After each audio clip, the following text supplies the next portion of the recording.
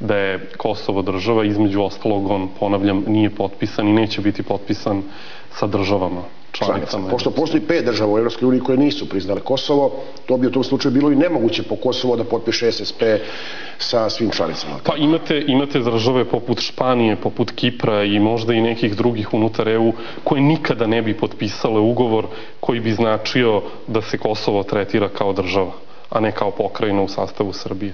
I uh, imate različitih primjera kako Evropska unija tretira ove slučajeve od Kipra do nekih drugih slučajeva. Ovo se čini kao neki presedan ponovo.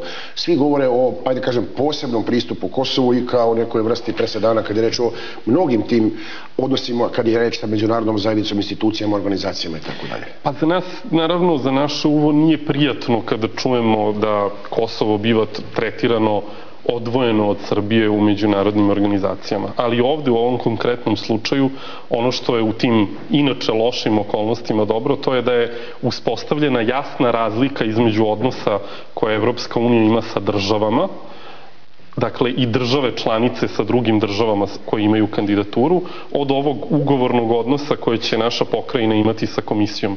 Dakle, bitno pravno različito u odnosu na odnos koji je zasnivan sa državama. A, naravno, mi ovde treba pre svega da se skoncentrišemo na to kao država da proverimo šta to od evropskih vrednosti na Kosovu i Metohiji funkcioniše, šta je sprovedeno. Nisam baš najsigurniji da tamo ima i dovoljno ljudskih prava i dovoljno vladavine prava, da je kvalitet tamošnjih institucija dobar. Pogledajmo samo kako izgleda kosovska demokratija, kako izgleda parlament u Prištini. To je jedna posebna tema, suzavci, čuda i tako dalje, to ćemo i kasnije pomenuti, ako sami sa sobom ne mogu da se rede odnose u parlamentu, kakav je odnos prema manjini, kakav je odnos prema Srbima, tako na Kosovu i drugim nealbancima. To je jedno posebno pitanje, ali tako? u tom slučaju. Pa naravno, pri čemu moram da kažem, za nas Srbi nisu manjina. Tako Srbi je. ne mogu da budu u sobstvenoj državi manjina. Druga stvar, čak i po propisima koje važe na Kosovu, Srbi na Kosovu i Metohiji nisu manjina. Dakle, oni su tamo narod koji je i po ustavu koji tamo važi, konstitutivni potpuno podjednako kao i albanci. Srpski jezik ravnopravan u teoriji kao albanski. Naravno, znamo da se to niti primenjuje, niti poštuje u dovoljnoj meri, ali kažem, ne treba sami sebi da, da, da lepimo tu etiketu manjine kao što ponekada neki političari u javnosti čini. Eto, to je bilo nekada lepljeno na taj način da se kaže manjina na tom delu teritorije, sada to ulazi na drugačije uši, jel tako, kada je, reč, kada je reč o tim terminima. Ono što jeste problem te E, Skupštine Suzavaca, Albina Kurtija, samopredeljenja. To jeste i pitanje unutrašnjih odnosa među samim Albancima kada reči i OVK. Danas vidimo izjavu jednog od ljudi koji je bio tačnjev čovek, e, zove se Sabit Geci, koji je rekao da su iz optužnice za ratne zločine, za suđenje za ratne zločine OVK, izbrisane imena Tačija, Kadri Veselija, Fatmina Limaja, evo čitam, Jakupa Krasnićija, Ređepa Seljimija, da su oni iz te optužnice izuzeti. Šta bi to moglo da znači u tom slučaju? Pa ima naš narod onu lepu izreku kadija te tuži, kadija ti sudi. Mislim da Same sebi, je sami sebe izuzimaju i ubacuju. Šokantno, šokantna istina da od 1999. godine do danas ni jedan jedini kosovski albanac nije osuđen od strane suda u kome su sudije kosovski albanci za bilo koji ratni zločin. Dakle, ni jedan nemoguće da niko nije odgovoran za proterivanje 247.000 ljudi, nemoguće da niko nije odgovoran za činjenicu da su nestali kidnapovani u hiljadama, pa i za tu monstruoznu trgovinu organima. A, Priština se nije sama od sebe ispraznila, niti su se sami od sebe ispraznili od Srba. Đakovica, Uroševac, Gnjilane, i mnogi drugi gradovi koji pre samo nekoliko decenija su imali desetine i stotine hiljada naših ljudi. E, to jeste jedan od ključnih problema, to jeste i pitanje povratka, ka to ćemo, to ćemo isto pomenuti u jednom delu priče. E, ajde možemo odmah da kažemo gospodin Dalibor Jeftić kao tako ministar za povratak. E, u kojoj meri radite zajedno na tom povratku? Čini se da ga gotovo nema. Čini se da jako malo ljudi je zainteresovano za povratak na Kosovo. Mislim da je zapravo... Ili uopšte ima uslove da se vrati? Pa reći ću vam ovako. Dakle, odnos celokupne domaće i međunarodne javnosti, establishmenta i naročito onih koji su najodgovorniji za pitanje povratka je 15-16 godina bio prilično licemeran. Dakle, sa jedne strane se... To je samo formalno pominjeno, tako je stavljeno sa strane. Se, samo se formalno pominjalo, a, a, rađeni su i neki projekti koji su više ličili na Potemkinova sela, ono, hajde da sklepamo nekoliko desetina kuća na brzinu, da ne ponudimo ljudima niti bezbednost, posao, niti tako. posao, niti bilo kakve uslove i onda kao, eto, mi nudimo povratak, ali niko neće da se vrati. Mislim, Čitave zgrade su nestajale, kažu, u tim projektima tako, izgradnje, tako, tako, to su čudovišne stvari. Kažu, tri ili četiri, a izgrađene dve, to je neverovatna priča. Da, ma naravno, ali i te dve koje budu izgrađene, budu izgrađene na način da niko od nas ne bi u njima živeo, zato što a, niti je ambijent bezbedan, niti postoje bilo kakvi uslovi. I a, mogu da vam kažem da je stopa povratka na Kosovo i Metohiju po zvaničnim podacima, dakle to su zvanični podaci UNHCR-a, stopa održivog povratka 1,6%. To je gotovo To je, to je nevjerovatno. Dakle, ne postoji sličan primer u savremenoj istoriji posle drugog svetskog rata te tako mali broj ljudi se na neko područje vratio. Čak u sukobu u Ruandi, tamo između Hutua i Tucija gde je bio rat. nekoliko stotina hiljada ljudi, tako? Tako je, možda čak i milioni ljudi su tamo poginuli i vratio se daleko veći broj ljudi.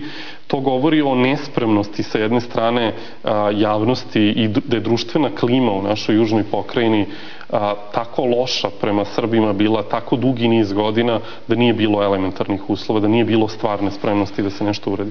Sa druge strane, a, moram da kažem da je i domaća ovde politika, jer pazite, ovaj problem mi vučemo vezano za interno raseljene izbeglice još od 98. i 99. godine. I, i, i iz Beograda je nedovoljno, nedovoljno činjeno, a, rekao bih, do pre dve, tri godine da se stvore neki uslovi. Kao da naše elite nisu bile zainteresovane u velikoj meri za tu vrstu priče. Ne, ne. A, i, a zanimljivo, znate, narodi koji imaju slične probleme, evo, na primjer, Azerbejdžan, ako pogledate da. kako su oni organizovali a, svoje izbeglice koje su proterane sa područja na Gornog Karabaha, a, oni ljudi još uvek žive organizovani u ista ona naselja u kojima su živeli u Nagorno Karabahu i ti ljudi su spremni da se sutra da se vrate. Kada, kada se stvore okolnosti da se vrate, samo tamo nema nikakvih uslova. Na Kosovu i Metohiji a, moramo da stvorimo uslove, imamo mnogo veću šansu od nekih u drugim konfliktnim zonama da stvorimo bolje uslove. Čini se da kosovske elite ja... prihvatiju povratak ili bilo šta, samo kad ih neko pritisne sa zapada, s međunarodne zajednice, od mentora i tako dalje, da nema dovoljno iskrenosti u toj primjeni brislavskog sporozuma ili bilo čega što se odnosi na neku vrstu dogovora. A da vam kažem, znate šta je, šta je zapravo ključ za povratak? A, vi imate 247.000 interno raseljenih u centralnoj Srbiji. Nemojte da mislite da je tim ljudima svima dobro. 70% njih, tačno ima 20-30% koji su se dobro snašli. Neki od njih su prodali imanja, neki od njih su našli dobre poslove. 70% ipak nema ili kuću ili stan, ili posao, ili živi ispod donje granice egzistencije. I to su realne brojke. To je zvanična statistika. Da, mi vidimo samo ono što je na vrhu. Tako, tako... 70% tako živi. Tačno, ima 30% koji su se snašli i koji žive bolje. A, u tih 70% verujte da postoji masa ljudi kojima nikada nije istovremeno ponuđen odgovor na pitanje gde bi živeli na Kosovu, da li bi imali posao, da li bi imali pristup socijalnim uslugama i tako dalje.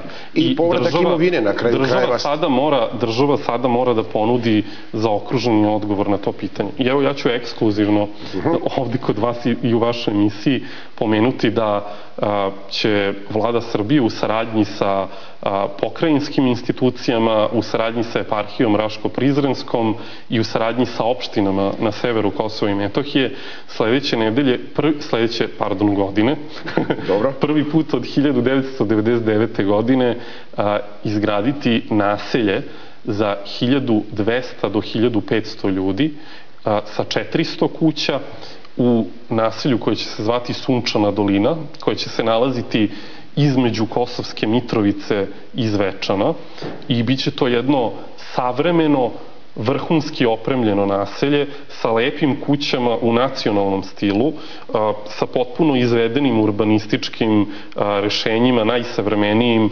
sa od centralnog grenja do savremenih informatičkih tehnologija, škole, ambulante, crkve, jednog amfiteatra gde bi se ljudi mogli okupljati i bit će to stvarno jedan jako, jako lep, lep ambijent za život. Naravno, ovaj projekat biće praćen ekonomskim elaboratom, pošto nam je cilj da otprilike na svaku kuću u tom naselju obezbedimo, to, je, to će biti prvo pravo povratničko naselje od 99. Dakle, za svaku kuću I da obezbedimo... Privredni ambijent možda, je tako? Za svaku kuću da obezbedimo po jedno radno mesto za koje bismo vezali onda socijalne ove, osiguranje, penziono, zdravstveno i ostalo. I mislim da ako uspemo da to, a Bože zdravlje radovi treba u novembru da krenu, znači već smo završili i kompletan projekat i sve one pripremne aktivnosti tamo, izradu detaljnog e, urbanističkog plana, svih onih elemenata koji su potrebni za izradu toga. Uskoro ćemo javnosti predstaviti i kako izgleda taj projekat i vidjet ćete ne zaostaje za nekim drugim prestižnim građevinskim projektima koji su, I u svetu i kod nas koji su, koji su aktualni. I mislim da posle 16 godina progonstva nama zaista treba jedan takav ozbiljan projekat da bi podstakao ljude da počnu da razmišljaju u pravcu da možda odu da žive tamo. I nama je cilj da tamo dođu da žive ljudi sa Kosova i Metohije, pre svega mladi parovi koji danas žive u progonstvu u centralnoj Srbiji.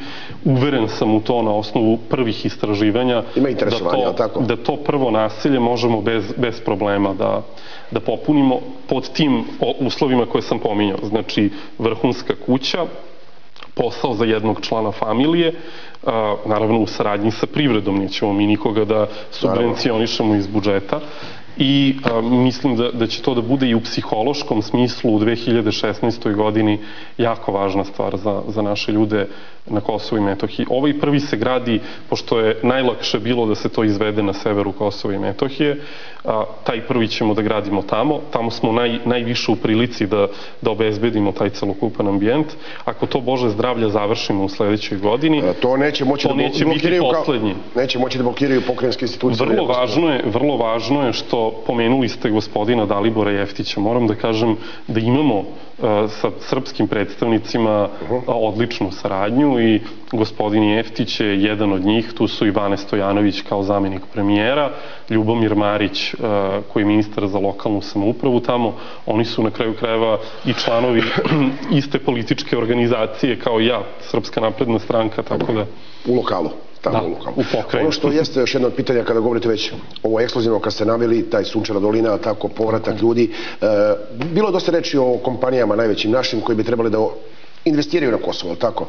E, što bi olakšalo neku vrstu ajde samog povratka i te mogućnosti zapošljavanja člana porodice. Imamo primjer saradnje Privredne komore Srbije, Privredne komore Kosova. E, dosta naše robe se izvozi na samo Kosovo, je tako? dosta naših proizvoda. Koje bi to kompanije mogle eventualno imali interesovanja za tu vrstu investicija? Srpske kompanije su veoma, veoma uspešne na Kosovu. Dakle, mi prodajemo više od 500 miliona evra godišnje robe na Kosovu. I pošto je Kosovo, Usmo, da. pošto je Kosovo i Metohija su od 2006. Prisutni smo na tržištu, tako. Pošto su Kosovo i Metohija od 2006. posebna carinska zona, Dobro. dakle, precizno se evidentira sva roba koja ulazi i izlazi na Kosovo i Metohiju. To su egzaktne brojke. Sve naše veće kompanije a, su tamo na tržištu. Uskoro će to a, biti i naše mlekare i a, postoji jedna tradicija konzumiranja proizvoda iz drugih delova Srbije koja nije prekinuta. Mi smo za našu južnu pokrajinu najveći i najvažniji spoljno-trgovinski partner. Kako oni gledaju, za nas je to druga carinska zona unutar naše zemlje, ali u svakom slučaju tih 500 miliona za nas nije uopšte zanemarljivo. Reći ću, poređenja radi mi u neke od naših najvećih zemalja i partnera ne izvozimo ni blizu onoliko koliko prodamo u našoj južnoj pokrajini. E sad, a, naravno, šta to, šta to za srpsku privredu znači? To znači da mi uz malo truda možemo da podstaknemo neke od srpskih I proizvodnju neku tamo, tako? Neke od srpskih privrednika da deo svoje proizvodnje organizuju i na teritoriji Kosova i Metohije, odnosno poželjno u opštinama sa srpskom većinom. Pošto mi znamo da, a, nažalost, nema dovoljno a, poslovnih ljudi, ni, ako hoćete, ni dovoljno znanja u tako maloj sredini. sredini kao što su naše sredine na Kosovu i Metohiji, mi moramo da stimulišemo one koji su već uspešni u svom poslu. I predsednik vlade će prilikom posete Kosovu i Metohiji, a, koje će biti do kraja koje će biti vrlo brzo najavljene, ili biće, biće najavljeno kada će se održati, ali vrlo brzo će doći do te posete. Predsednik vlade će predstaviti paket podrške srpskoj privredi za ulaganja u srpske sredine na Kosovu i Metohiji, naravno sa ciljem da se ojača ekonomska snaga našeg naroda i taj program će takođe startovati od 1.1.2016. godine. Dobro. To, to ne znači naravno da će ta radna mesta po automatizmu da, da počnu da se otvaraju, ali ako vi recimo izdvojite određenu sumu novca. Ako recimo, investiraju i krenu sa proizvodnjom, da. Ako vi kao država date toliko i toliko, da sad ne otkrivam unapred, ali ako date kao država toliko Već smo čuli jednu ekskluzivnu vest da ne otkrivamo sve, tako? Toliko i toliko, pa moram da ostavim nešto, nešto i sa kasnije, jel? Da.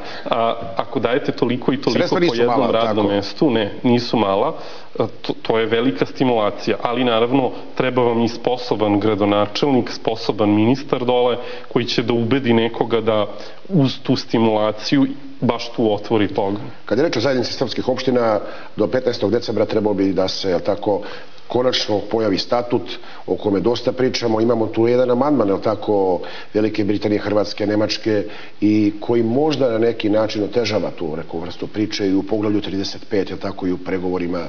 E sad, taj statut. Šta se dešava sa njim? Da li ćemo ga dobiti do 15. decembra?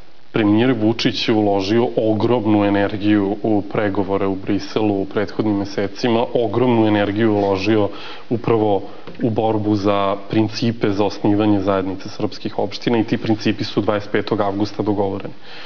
Verujte, onog dana kada smo te principe izdejstvovali, stvarno smo se svi osjećali, osjećali tog dana onako triumfalno i, i kao... Rekli ste 5-0, ali tako tog tada? Dana smo, tog dana smo zaista bili u toj rundi pobednici. Naravno, ova naša savremena kosovska bitka traje godinama i trajeće, I trajeće generacijama i bit će tu... mnogo i, i, uh -huh. i dobrih dana i mnogo loših dana. Čini se da su se izrodile mnoge prepreke, prepreke mm. umeđu vremenu, ali tako, pojavile su se neke priče o novom uslovljavanju, ali tako, kroz te pregovore, ne priče, nego neke, ajde da kažemo, e, neke težnje da se ograničimo tako kroz neku vrstu amandmana ili ne znam čega. Sa pregovorima, sa pregovorima su se izdešavale, izdešavao se od tog 25. avgusta niz loših stvari. Pre svega, 20, nakon 25. avgusta nismo videli ni jedan gotovo korak Prištine na primjeni onoga što je 25. avgusta dogovoreno. Znači, prva stvar koju oni trebalo da urade maltene, bezmalo sutradana nakon tih pregovora, Šta ih sprečava u tome? je da usvoje izvršnu uredbu o principima za uspostavljanje zajednice srpskih opština. Oni to gospoda nisu uradili. A su napravili priču oko UNESCO. A, to ćemo ali su napravili priču oko UNESCO-a potpuno izvan svih razgovora, pregovora i dogovora i ucenili su Evropsku uniju ako nam ne date sporazum o stabilizaciji i pridruživanju, a, mi onda nećemo da usvojamo princip za osnivanje zajednice srpskih opština. I a, očigledno je da a, su oni a, naišli ne barem na javne kritike za takav stav, mi smo vrlo to su javno... neke blage kritike, nešto vrlo... onako kao nije dobro dete, od primjerke, popravit će se, tako to da nije to liči. Dobro, nije dobro dete, ali naše je dete. A Srbija mu tu nekako dođe kao neko Očuk neki, nahoče.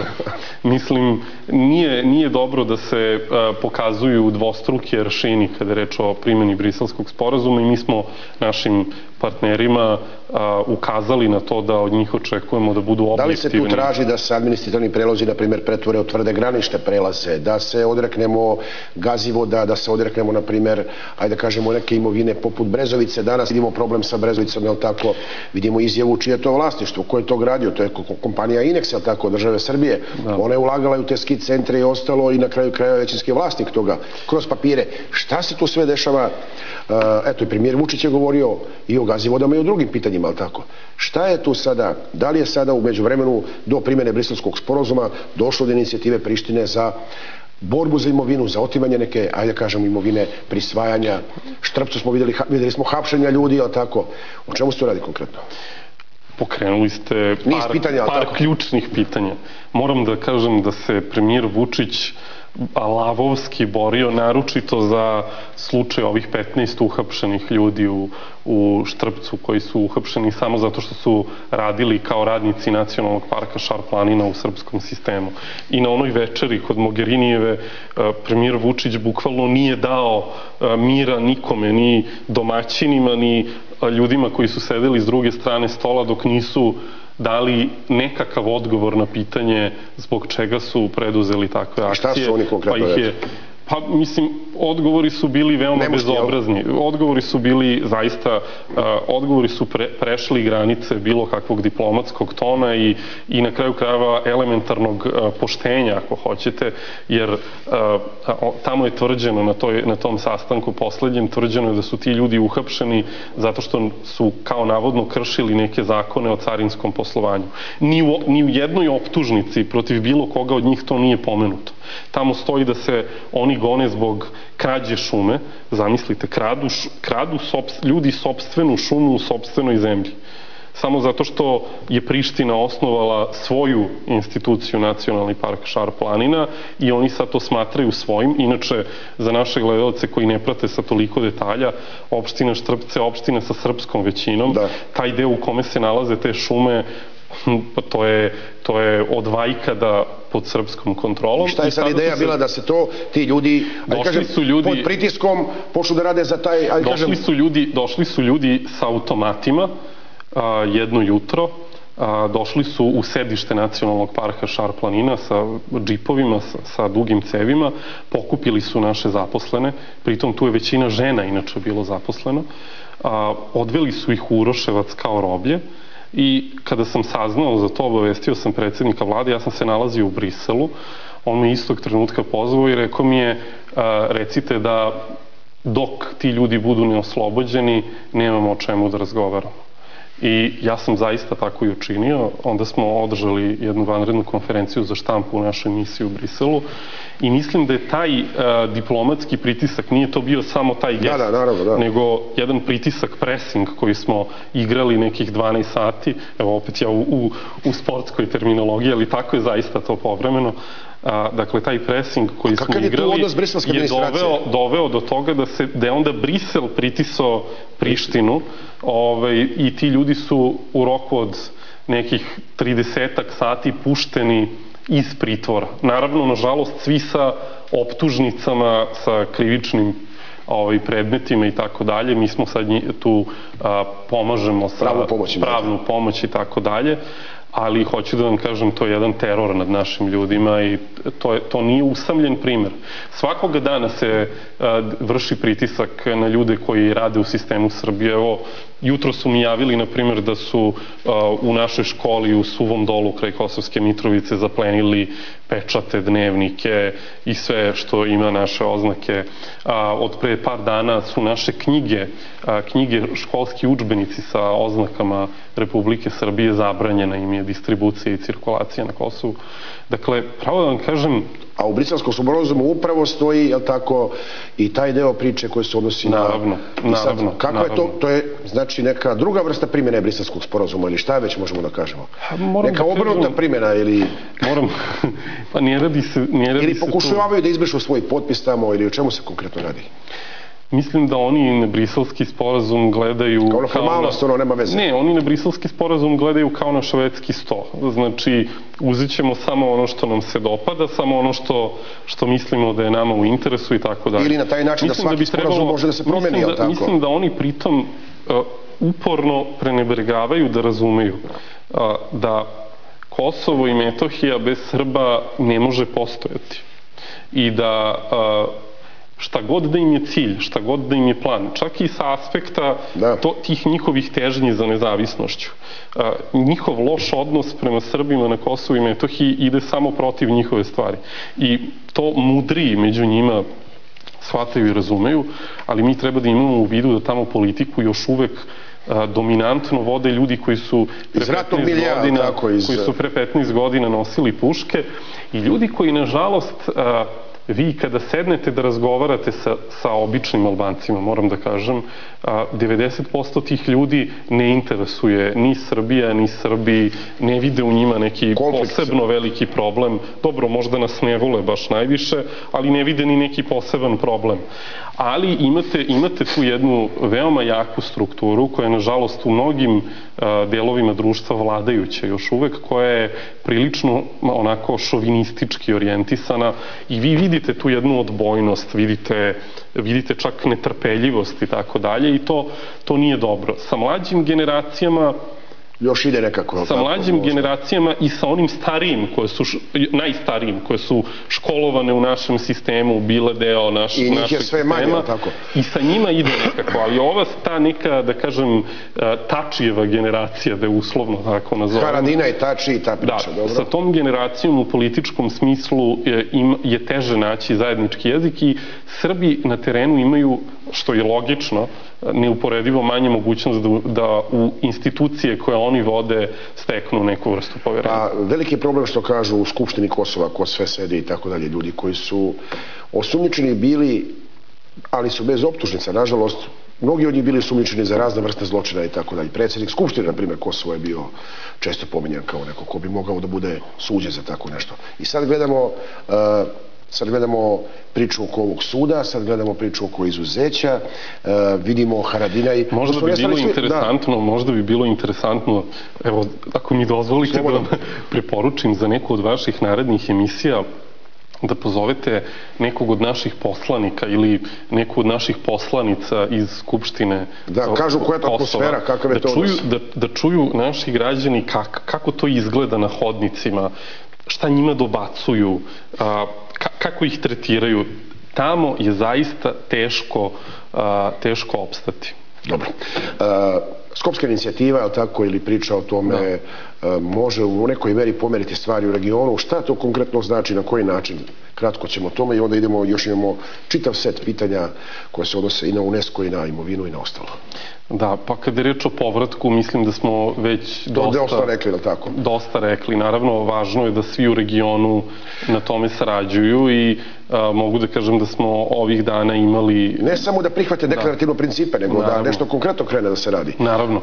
I činjenica da mi danas radimo sa Ministarstvom za povratak pokrajinskim, zaista radimo kao, kao jedan.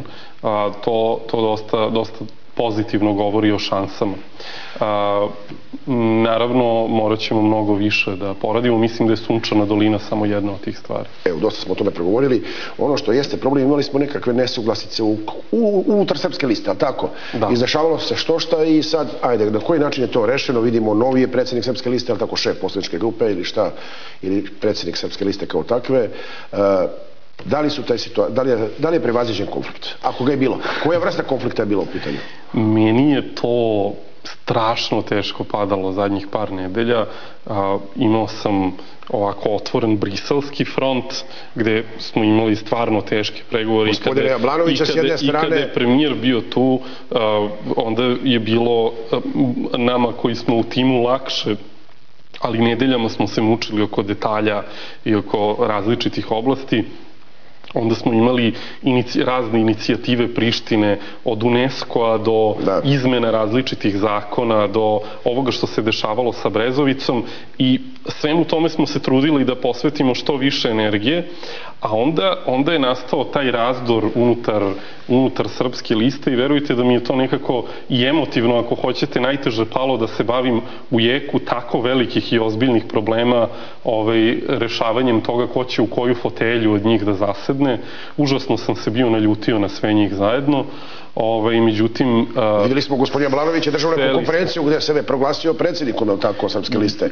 Pa se to kasnije, je. ajde, promenjena priča nakon sastanka sa Morao sam, morao sam i tu da, da zamolim ovaj premijera za, za, za pomoć u, u svemu tome i posle a, sastanka koji smo imali u petak, mislim da smo uspeli da, a, ako ne rešimo 100% te sukobe, onda da ih da kažemo, stavimo pod kontrolu i da svim ljudima na terenu objasnimo koliko je važno da sada delujemo. Jer to je stvar koja u ovom trenutku ne I, I moram da kažem, nisu, ne bih sve stavljao naše političare tamo u isti koš.